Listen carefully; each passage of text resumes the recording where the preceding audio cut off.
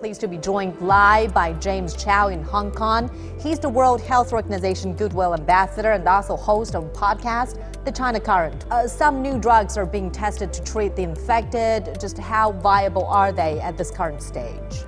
Well, the World Health Organization, Mang Mang, said yesterday that none of these therapies have been confirmed to uh, be effective treatments for this particular outbreak of novel coronavirus. But there has been a case of a man over in Washington state in the US who was treated with uh, an anti Ebola uh, therapy. And as you said, also therapies, antiretroviral therapies, are being used traditionally in frontline treatments for HIV and AIDS. So, what this really shows us is that there is hope. We don't need to think about a vaccine that's starting from from the ground up from square zero.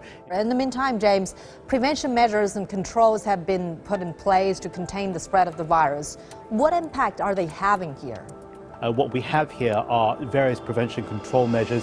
Some of them have been uh, uh, a curb on free flows of movement. We've seen a number of cities being locked down uh, in China, transport, even certain borders with Hong Kong where I happen to be right now.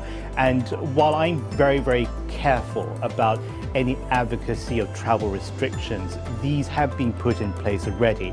And given that they have, I think at some certain point we're going to see these joint measures uh, providing a combined effect and we will be able to see a larger impact. I was speaking to a friend today, a very long conversation with a friend who's currently in Beijing and she was sharing with me how looking at the daily statistics is worsening her own emotional and mental health. So for everybody who's over there in China right now, who's trying to get through each day in confinement, in self-quarantine, or even in compulsory quarantine, uh, manage your mental health at the same time because the rest of the country is with you, and I think the whole world is with you in solidarity as well.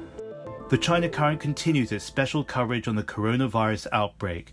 Go to our social media at the China Current and our website for interviews, videos, and podcasts. I'm James Chau. Thank you.